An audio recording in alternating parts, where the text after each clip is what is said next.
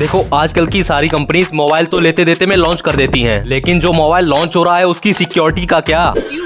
क्यों हुई? बताता हूँ क्या हुई। अभी कुछ तीन चार दिन पहले ही एक लड़के ने ट्विटर पे ट्वीट किया और बताया उसका फ़ोन ब्लास्ट हो गया है। आप उस फ़ोन की फ़ोटोज़ भी देख सकते हैं, बुरी तरह से फट चुका है। और ये फ़ोन और कोई नहीं रेडमी नोट ट्वेल्व प्रो है। और इस लड़के ने अपना बिल भी दिखाया इसने दो महीने पहले ही अपना फ़ोन लिया था सत्ताईस हज़ार रूपए का। और अब ये लड़का बोल रहा है, अगर इसकी समस्या का समाधान नहीं हुआ तो ये रेडमी के ऊपर कानूनी कार्रवाई करेगा। वैसे आजकल मोबाइल काफ़ी ज़्यादा ब्लास्ट हो रहे हैं। अभी कुछ दिन पहले ही आठ साल की बच्ची की जान चली गई मोबाइल ब्लास्ट की वजह से।